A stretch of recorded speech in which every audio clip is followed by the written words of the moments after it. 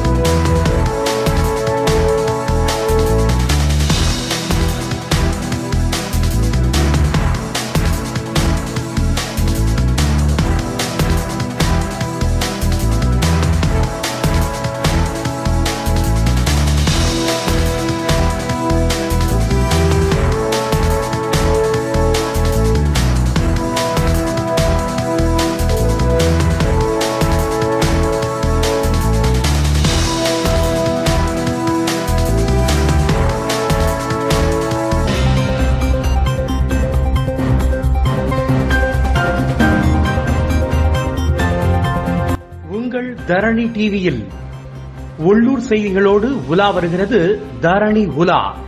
உங்கள் தரணி டிவியில் தினமும் காலை ஏழு மணி இரவு ஏழு மணி மற்றும் இரவு பத்து மணிக்கு காணத் தவறாதீர்கள். தரணி உலா.